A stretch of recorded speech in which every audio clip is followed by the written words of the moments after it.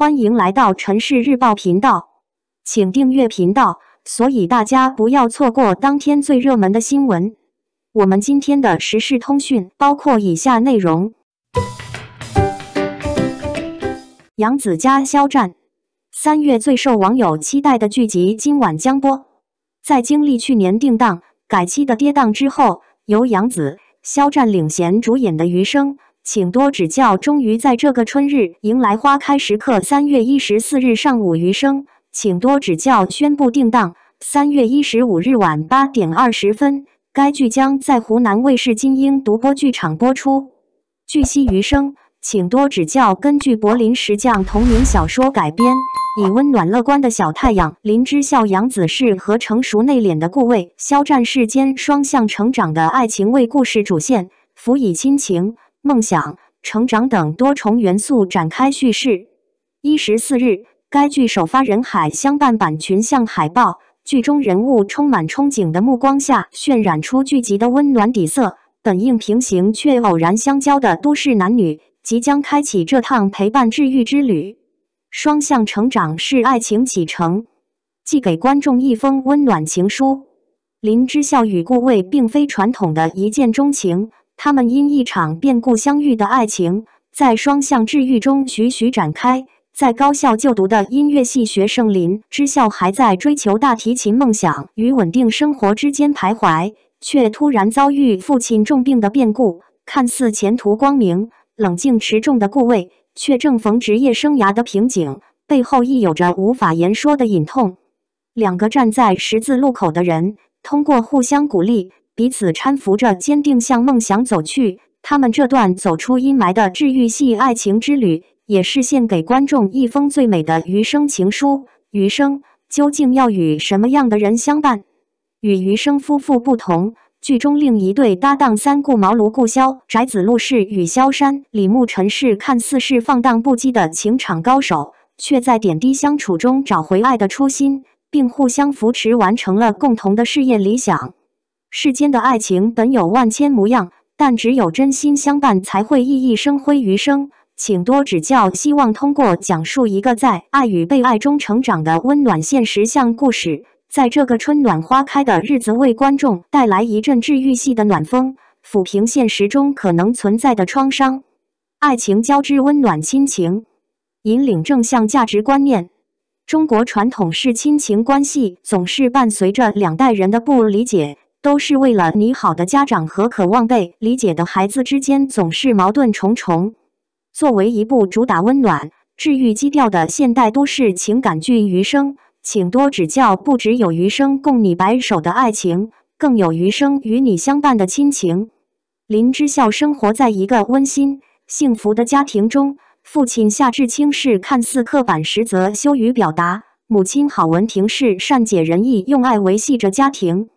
临近毕业，林之孝像许多年轻人一样，徘徊在步入社会的分岔路前。父母和孩子理想的差异化，已让这个平静的家庭争执不断。此刻，林父突发癌症，就是否治病与林之孝再起冲突。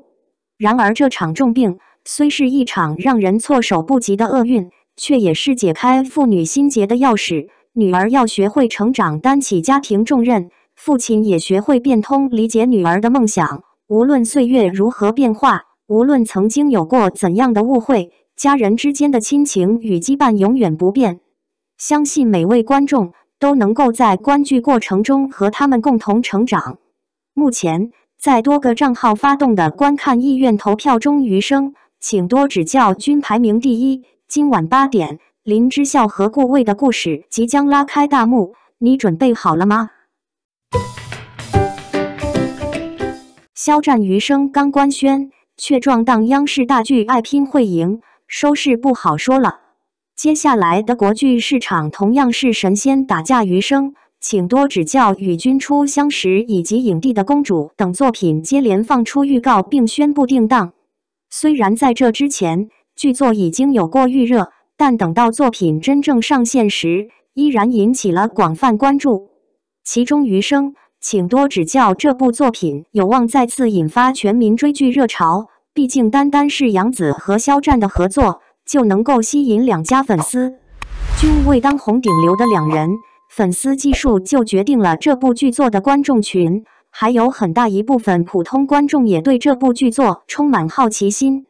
然而，接下来的余生，请多指教，并非一家独大。肖战的这部新作刚官宣，却撞档央视大剧《爱拼会赢》，主演之一甘婷婷发文表示，剧作明日开播，与余生，请多指教几乎同时上线。这一次收视不好说了，余生占据热度优势，演员是最大加分项。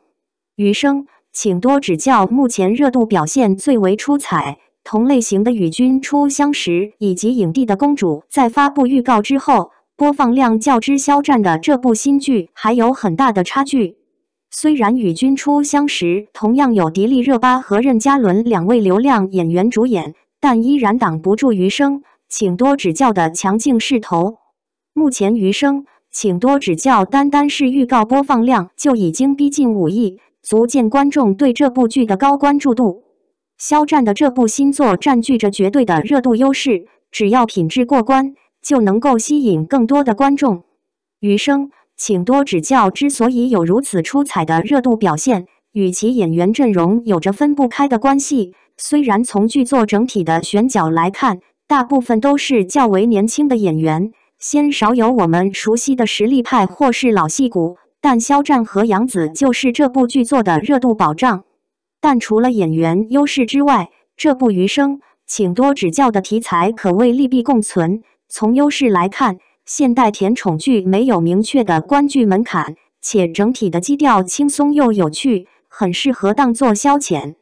而二零二一年的爆款剧作《你是我的荣耀》也证明了这类题材有着不错的市场。然而，劣势在于当下国剧市场上最受欢迎的剧作类型以主旋律正剧和悬疑剧为主，而《余生，请多指教》又与这两种类型几乎不沾边。故事的主线也是以男女主角的感情为主，但是从二零二一年开始《山海情》的大爆，到今年的开年大剧《人世间》，都是描绘生活实际的作品，哪怕是对于感情的呈现。也多是艰苦奋斗之下的相濡以沫，这就使得余生，请多指教。虽然热度出彩，但是题材上并不具备着绝对优势。尤其是同期在央视播出的《爱拼会赢》，恰恰与余生，请多指教相反，优势更加突出。现实主义题材更讨喜，《爱拼会赢》展现晋江精神。爱拼会赢的两位主演于晓光和甘婷婷，对于观众来说同样是老熟人，只不过相较于肖战和杨紫的号召力来看，的确有些不足。但是纵观当下国剧市场上的出圈之作，没有流量明星助阵的作品，反而更有大爆的可能。一部影视剧做成功与否，看的不是有多少流量明星，而是演员的演技水准、剧作的内容和品质。哪怕是一些全流量阵容或是全实力派阵容，也不见得一定能出佳作。